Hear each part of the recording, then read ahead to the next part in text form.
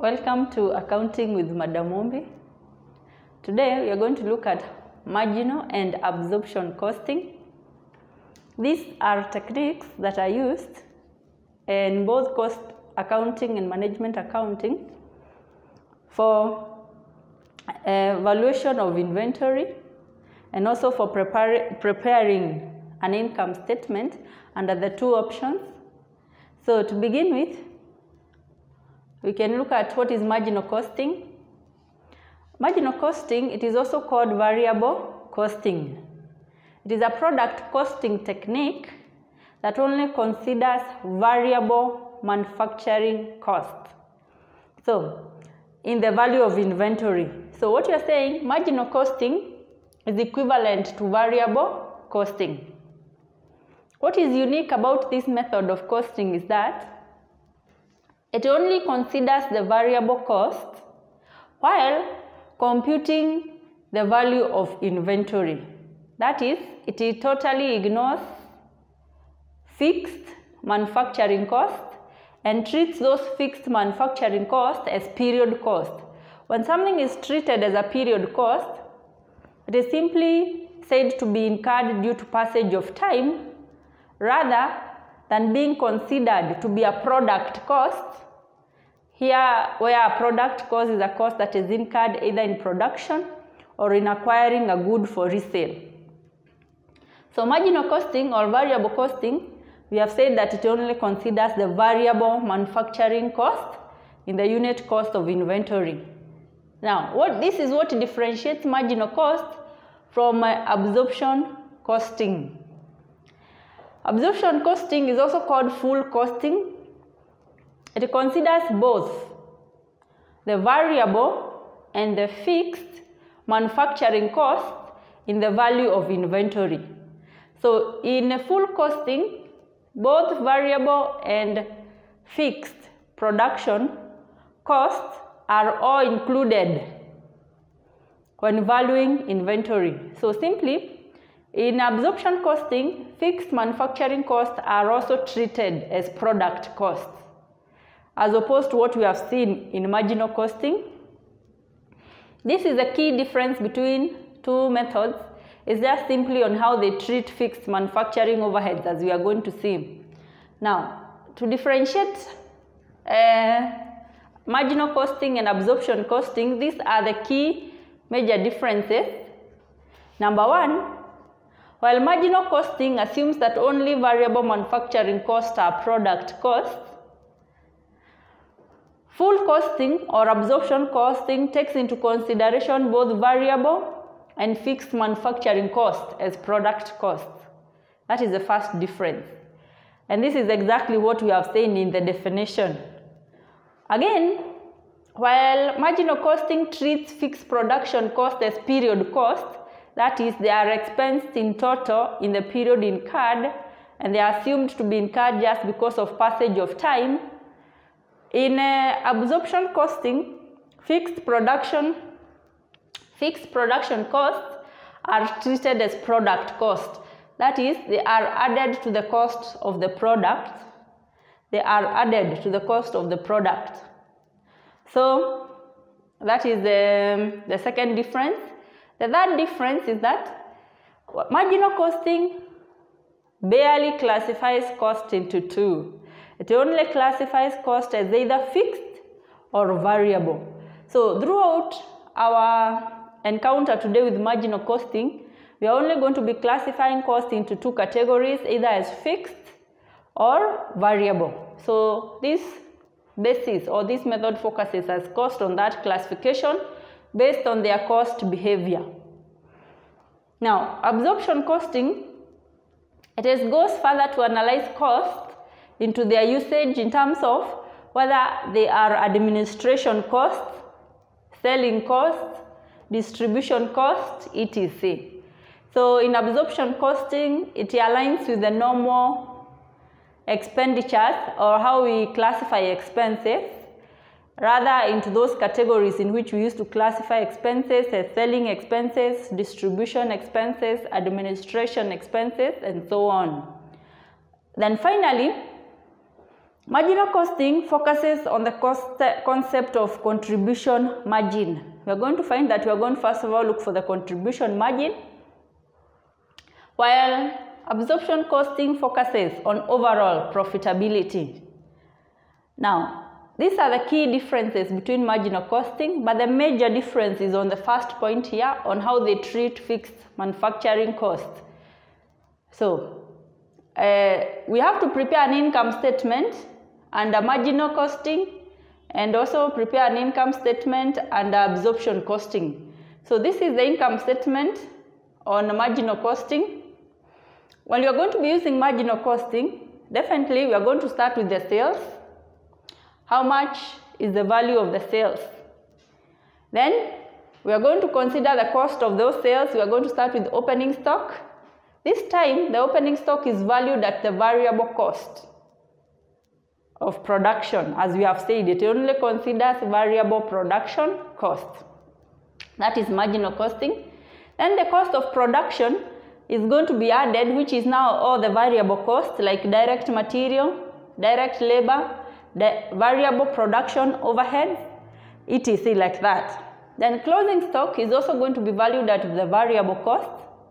And once we get the cost of sales, we subtract it from the sales figure, we are going to get what we call gross contribution. This is what I've said that it focuses on contribution margin rather than focusing on profit. Once you get the gross contribution, you're going to less other variable non-production costs, and what you're going to get is net contribution. And so far you can see that marginal cost classifies cost only into two categories, either as variable cost or fixed cost. Then you are going to less all the fixed cost. As we have said again, that it treats fixed costs as period cost. They are expensed in total at the end of the period. That is, they are treated as period cost instead of being treated as product cost. So, and then whatever we get is the net profit using marginal costing. All right. Then uh, in absorption costing, in absorption costing, again, you are going to start with the sales. How much is the sales uh, value? Then we are going to have the cost of sales, which is made up of opening stock. This time, the opening stock is valued at full cost. Full cost is both variable cost and fixed cost of manufacturing. And this is where we have said the difference is. Here we are going out to value at full cost in absorption costing. When we come to the production cost, you have direct material that is variable, direct labor that is variable, variable production overhead is variable, and you are going also to have fixed production overhead. So we have said, and I repeat, that this one is going to consider even the fixed production overhead as value of the product.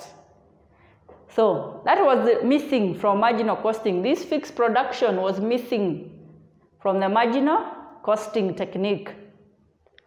Then closing stock is also now going to be valued at full cost, which is both variable and fixed. And now when we less sales minus the cost of sales, here, the answer we get now is a gross profit. This again is what we have said that this method focuses on profitability rather than focusing on contribution margin. So whatever the answer we get is called gross profit. And then we are going to less the non-production expenses, both variable and fixed. Here is where we are saying that those overheads will be classified into administrative, selling, distribution expenses. All of them we are going to less then we are going to add, make an adjustment for either over or under absorption of overheads. We are going to see what this is in the uh, at a later time, but in the course of this class. So we are going to see what is over or under absorption of overhead. And finally, that is how you get the net profit. But this time, this is under absorption costing. Now, you can see the differences in the two methods. Majorly, the differences lie in how you value production, how you value opening and closing stock, and how you treat the overheads here. That is where majorly most of the differences come in. So to be able to understand this concept better, we can look at a question. We can look at a question. It says that the standard cost of producing one unit of a product M is given below. The direct labor is shillings 15, direct material is shillings 24, variable production overhead shillings 6, fixed production overhead is estimated at shillings 30,000 for a budget of 2,000 units per month. And the following information is also provided for the month of October 2022 where 2,000 units of the product were produced and 15,000, I mean sorry, 1,500 units were sold.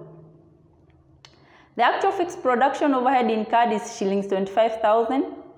Annual non-production cost also consists of fixed selling cost of 36,000, variable selling cost of 15% of the sales in shillings.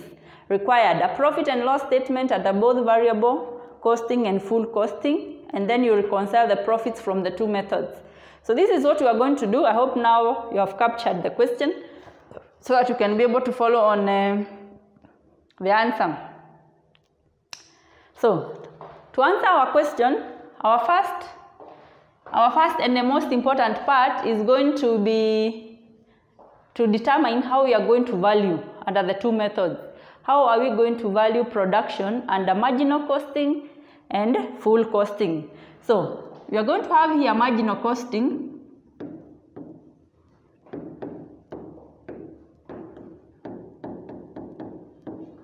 and then I can have here absorption costing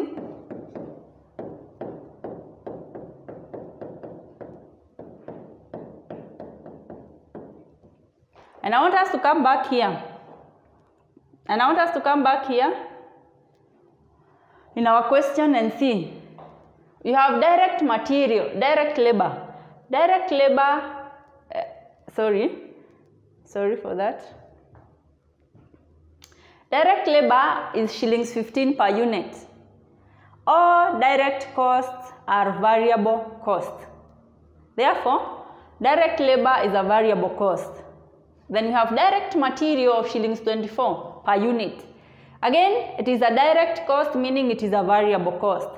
Then you have variable production overhead of shillings 6. So all these first three items are variable cost.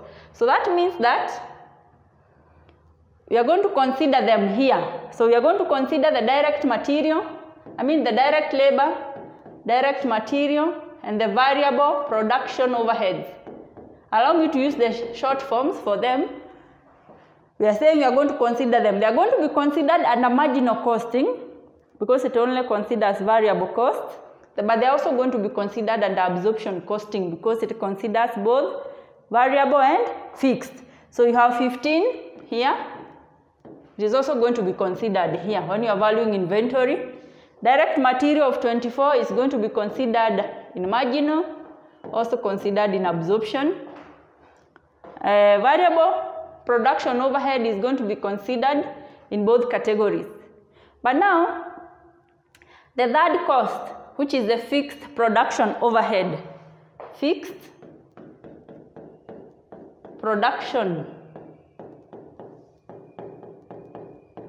overhead. We have been told that it is estimated at shillings 30,000 for 2,000 units. So, we are being told it is estimated at shillings 30,000 for a number of 2,000 units. This means that per unit, it is estimated as shillings 15. And this is what you are calling the fixed overhead absorption rate. Fixed overhead absorption rate. How the overhead is going to be absorbed, that is a fixed overhead. And again, I can take you back there, and you can be able to see that here that we have been told that the fixed production overhead is estimated at 30,000 for a budget of 2,000 units per month. So 30,000 is for 2,000 units. Therefore, how much is it per unit is what you are going to use to get what you are saying is a, is a fixed overhead absorption rate. So our fixed overhead absorption rate is 15. But now in marginal costing, it does not consider fixed overhead. I mean, or fixed production overhead, but in absorption costing, it shall be considered.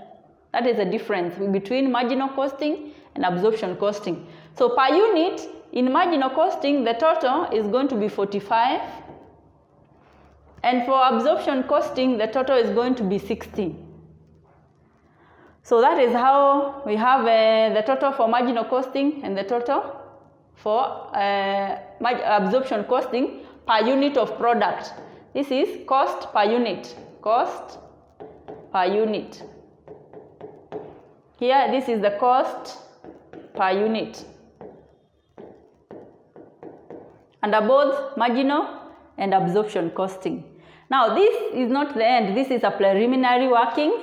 What we need to do now is to prepare the, in, the income statement or the profit and loss statement under both methods, that is under marginal costing and under absorption costing. We are going to divide this board into half so that we have both of them here. We can have marginal costing here. We are saying this is an income statement under the two method income statement that is under marginal costing then you can have the income statement. Under absorption costing.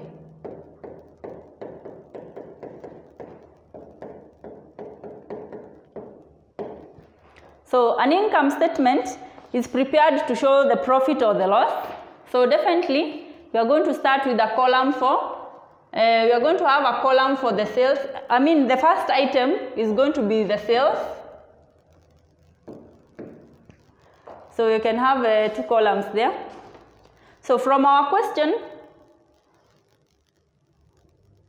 from our question we can see how many units were sold. It is said that uh, the following information is provided for the month of October 2022. 2,000 units of the product were produced and 1,500 units were sold. So the sales is 1,500 units. And before I leave this page, you'd also note that the selling price per unit, you have been told the standard selling price per unit is shillings 205.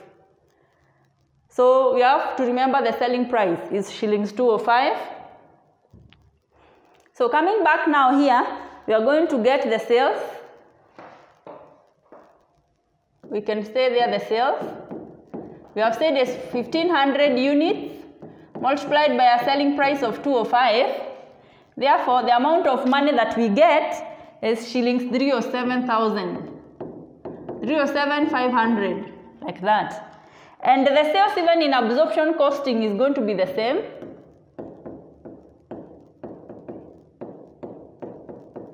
The sales is the same.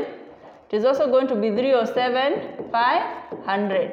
So I'm going to do both of them together so that you can see the difference and where the differences come in. So the next item is to less the cost of sales. So I'll come here, we less the cost of sales.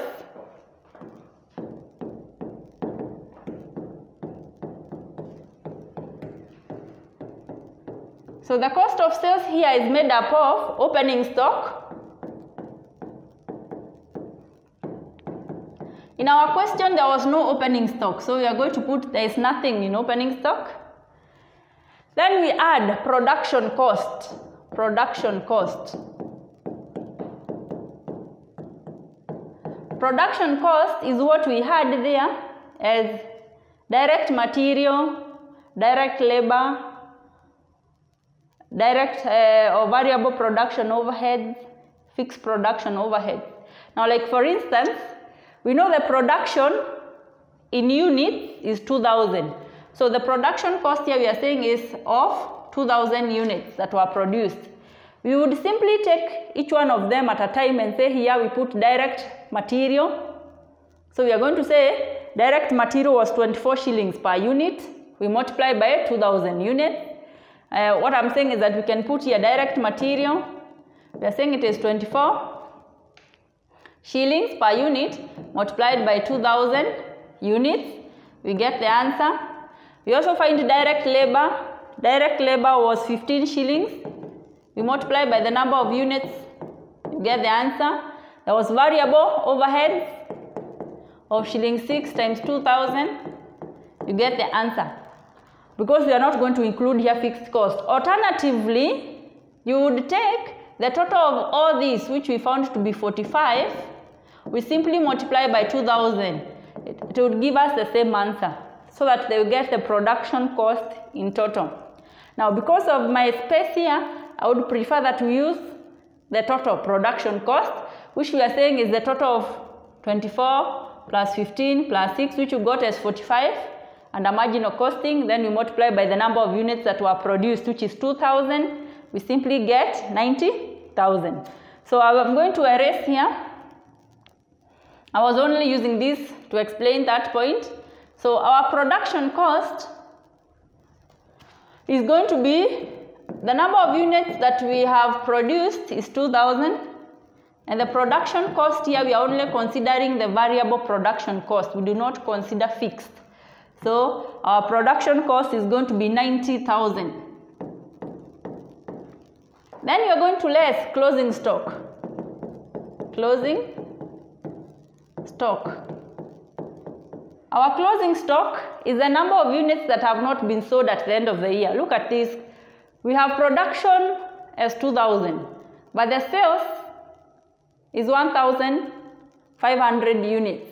So the number of units we produced was 2000, the number of units we sold was 1500. What does that mean? That means that there is closing stock of 500 units that have not been sold.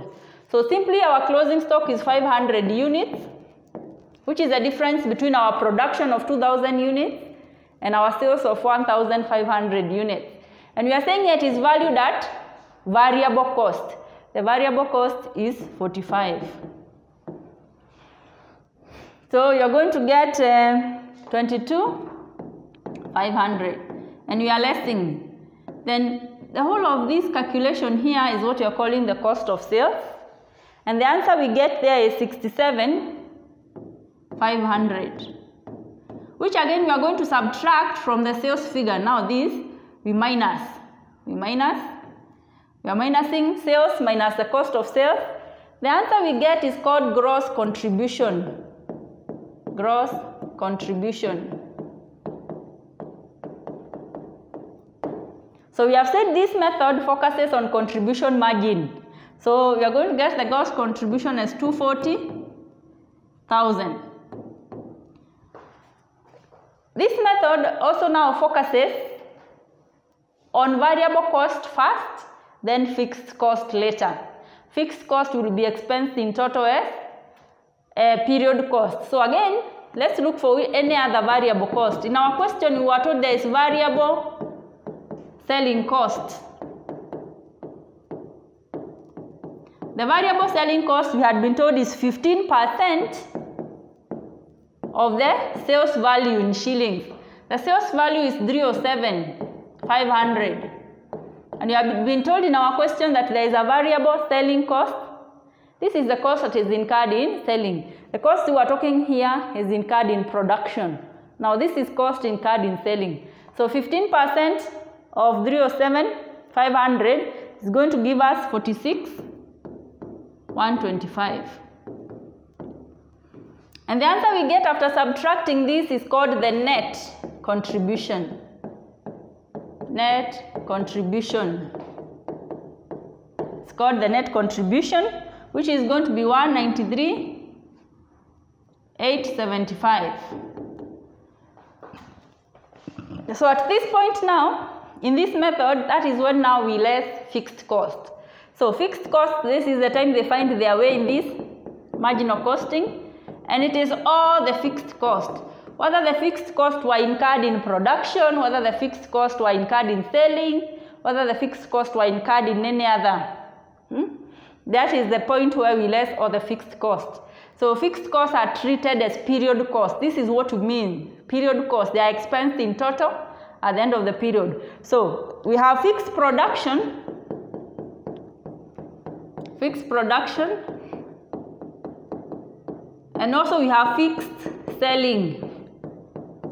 Fixed selling. The actual, the actual that was incurred in the period. So fixed production that was incurred is 25,000 while the fixed selling is 36,000. Total giving us 61,000. And when you less, you get the answer which is the net profit. Net profit. So we are saying in this method, the fixed production costs are expensed in total. And we can look for these figures from our question. You can find that.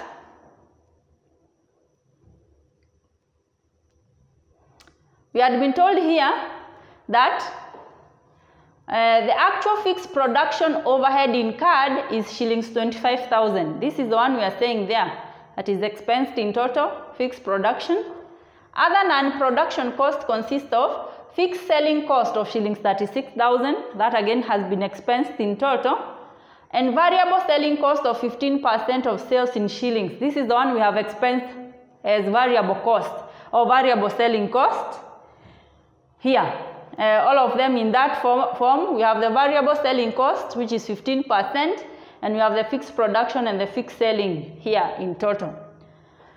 So that is marginal costing for us. So we can come now here to absorption costing and then we are going to compare. So in absorption costing, we are also going to less the cost of sales. So you are going to less cost of sales. We are going to less the cost of sales. But now we have uh, opening stock. Opening stock. And we said in our question there was no opening stock. We did not have stock at the beginning of the year. The next item we are going to have is production cost. So we are going to have production cost. And as I've said, we do not multiply, we don't need to multiply direct material and get the total, direct labor and get the total, variable cost and get the total, fixed production cost and get the total. We can simply use the total. So what I'm saying, other than saying that the production was 2000 units, we multiply with direct material, direct material was 24, then we come to direct labor, which was 15. Then you come to variable overhead, which was uh, 6. Then we come to fixed overhead, mm -hmm. which was 15. Instead of doing this, that is per unit, per unit, or, uh, not per unit, but I mean per category of, uh, of cost, we can simply use the total which is the total variable cost in this, I mean total fixed cost or the full cost. So I'm going to clear this.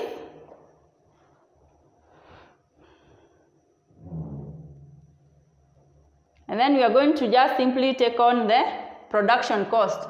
So our production cost is going to be 2000 units were produced at a cost of shilling 60. That is the cost of uh, full cost, both variable and fixed. So this time here now we are going to find the production cost is going to be 120,000. Then we are going to less closing stock. Closing stock, closing stock. It is now valued at full cost. Again, closing stock is the same. We said that number of units produced was 2,000. Number of units sold was 1,500 meaning there is closing stock of 500 units. Valued at full cost, we said full cost is 60. Full cost is 60. I hope you can remember that. This is what I'm talking about here. Absorption costing, full cost is 60, while in marginal costing we were using 45. This is what I'm talking about. So here now valued at 60, we are going to get 30,000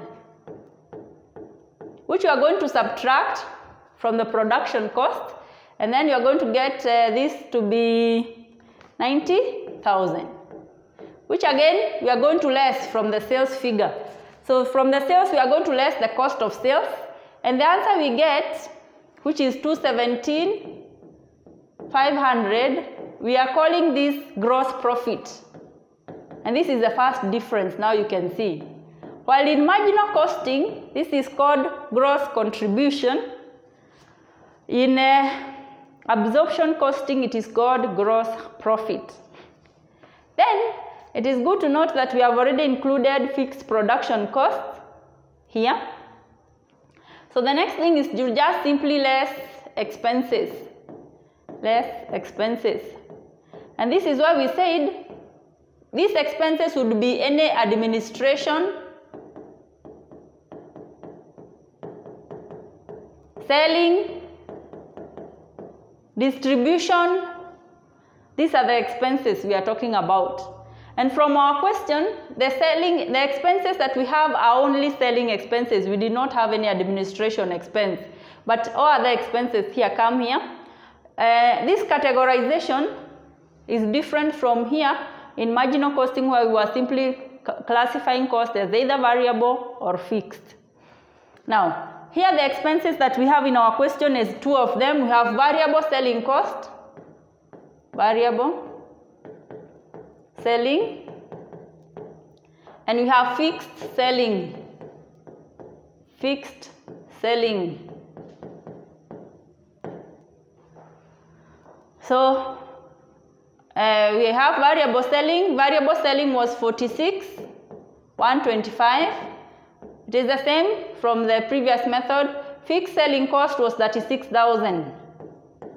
So everything is the same, it's just how uh, they are categorized. So our total cost is going to be 82, 125, which we subtract and get the profit as 135, 375. Now this profit we need to check for something that we called over and under absorption of overhead. By deciding to put a little bit of fixed costs in every produced unit, like you can see here, let's say here, for every product we have included 15 shillings of fixed production overhead. So for every unit there is 15 shillings which is fixed production overhead. And our understanding of a fixed cost, what is a fixed cost? It remains constant within a relevant range of activities. So this cost is basically not increasing or decreasing whether you produce more or produce less, but rather, but even so, we have included a part of that cost, specifically 15 shillings has been included in every unit. So what we can say is that, let's ask ourselves, how much of this cost was absorbed? How much was absorbed? Absorbed. So we have produced 2000 units. These are the units we have produced. And for every of these units, we have we have uh, we have placed 15 shillings of fixed overhead. Rather, 15 shillings is the fixed overhead absorption rate. Per unit, we are absorbing a fixed cost of 15 shillings. So the total that we have absorbed is 30,000. That is the absorbed overhead. So the absorbed overhead is 30,000. But if you compare with the actual production overhead, actual production overhead, we see that the actual is 25,000 according to our question. That according to our question, the actual production overhead is 25,000. So we find that by using absorption costing, we have already said that the fixed cost or the fixed manufacturing cost is that thousand. It is how much we have absorbed into production. But at the end of the day or at the end of the month, the actual production overhead was 25. Therefore, here there is a case of overabsorption. We have absorbed more than the actual. So we are saying there is a case of overabsorption. So here we can say that the absorbed overhead,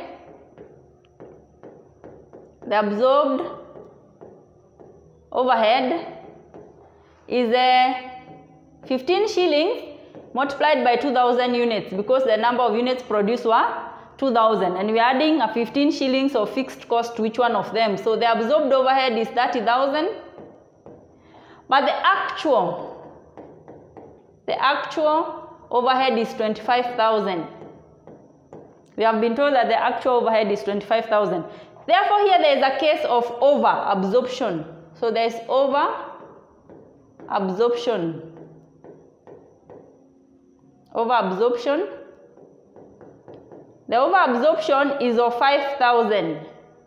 And this is the one we are going to add to our profit. The reason we are adding to our profit is because it simply means that this production is overstated. This production cost is overstated by shillings 5,000. If production cost was overstated, it means our profit was reduced. So we are increasing the profit by that amount that it was. Um, by overstating the production cost, of course, you are reducing the profit. So we are simply saying this profit has been reduced by 5,000 because the production cost was overstated by an equivalent amount. So we are adding the overabsorbed amount. So we are going to have 140, 375. This is the net profit according to um, absorption costing. So the profit as per marginal costing is 132, 800, 875. While the profit under uh, absorption costing is 140, 375. So we can evaluate these two methods and see what is the difference. You can find that the sales is the same under the two methods. When you come to the less the cost of sales, in the format it is the same. The only difference is that while here in marginal costing we value at 45 shillings, which is a variable cost only, in uh, absorption costing, we are going to value at shilling 60, which is variable cost plus fixed production overhead. So simply in absorption costing, they have added to every product 15 shillings of the fixed cost. Okay. What we get here is called a gross contribution because simply a contribution is the difference between selling price and variable cost. That is how you get a contribution. And because so far we have not subtracted any fixed cost, that is why the answer there is called a gross contribution. The answer here is called a gross profit. This is because you have already less some component of fixed cost. Now the answer can quantify to be a gross profit. In this method, it first of all categorizes all the variable costs, then comes to the fixed cost. So the variable cost selling is also subtracted first, you get the net contribution. Finally, you less the fixed cost in that order. Variable first, variable production first, variable selling, then fixed cost, all of them, whether fixed production or fixed selling, all of them. Here, there is no categorization into variable and fixed. They are combined in production, they are also combined in administration and selling. So you less variable selling and fixed selling cost. And here now there will be an issue of over and under absorption of overheads. As we have seen this case is a case of over absorption. We can move on and reconcile the profits under the two methods. So the profit as per marginal costing.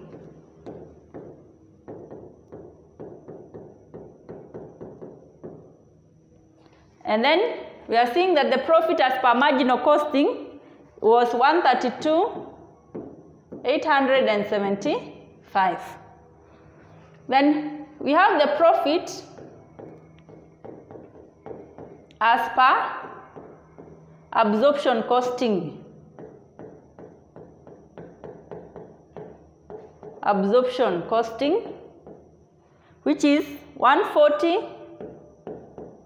375 so we want to reconcile we want to reconcile reconciliation. We can we want to reconcile the profits. So what is the causing all these differences in these two profits is simply one thing. What is causing the difference in the two profits is the fixed is how they have treated the fixed production costs one added to the value of inventory, the other one did not. Therefore, we are going to say here you add or you less the fixed production cost, fixed production overhead tied up, tied up in inventory, in net inventory.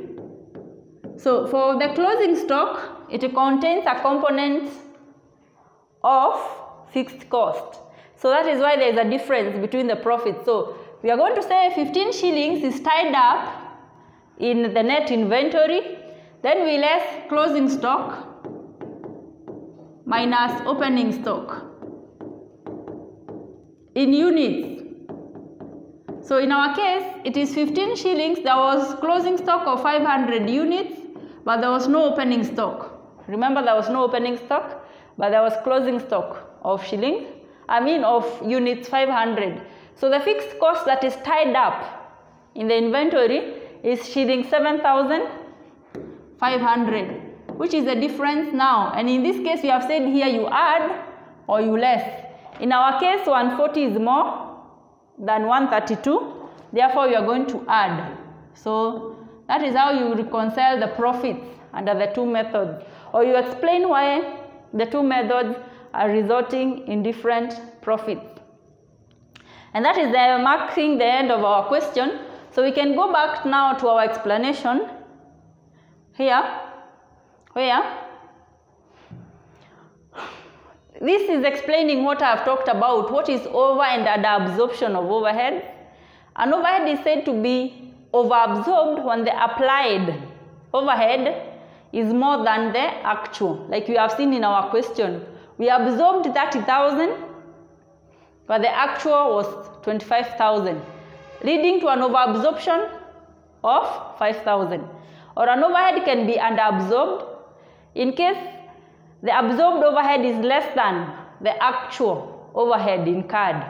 So this simply is what we have done as part of the question, which is over and under absorption of overhead. Then now let's come and think about which method is preferred. There is a hot debate among scholars on whether marginal costing is preferred to absorption costing.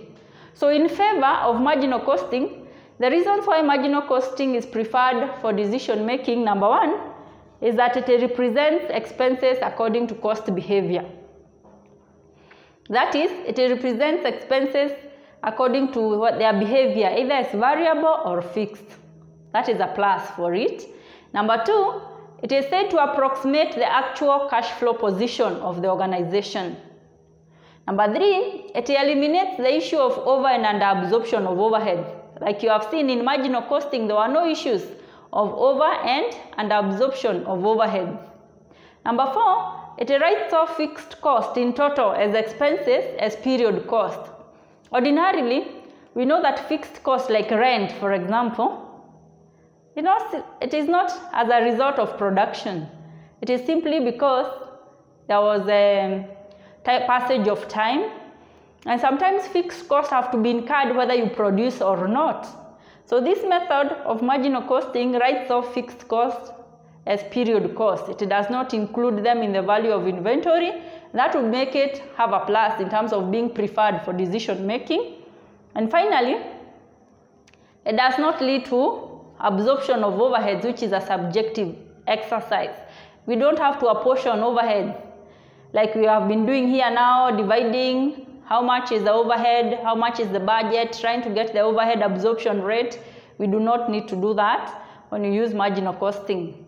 But on the flip side, there are also reasons why uh, absorption costing may be preferred. Number one, it is that it allocates a section of the fixed cost or the fixed overhead to the units sold and therefore the closing stock of goods contains both variable components and fixed components. Again, it seems to comply with the generally acceptable accounting principles whereby it recognizes all the cost of production. By recognizing both variable and fixed, it appears to be in agreement with the GAAPs or the generally acceptable accounting principles which um, require recognition of all the costs. Then, by recognizing fixed cost in production, this increases the value of inventory. And when the value of inventory is increased, it is able to influence the pricing strategy. So the cost of the production is seen to be high. Of course, definitely that will make the product pricing to also be high because by considering all the costs, both fixed and variable, the cost, cost ends up being higher than what it would be if you only considered marginal costing, uh, variable cost only. Therefore, the pricing strategy now, the prices can be higher. And finally, uh, absorption costing does not downplay the importance of fixed cost. So in marginal costing, we seem to likely like downplay how important fixed costs are, but in absorption costing, it takes fixed cost seriously and uh, does not downplay the importance in production. So these are just arguments in favor of either of the two methods. And uh, that marks the end of my presentation on marginal and absorption costing. If you found this to be helpful, kindly like, share and subscribe. Thank you.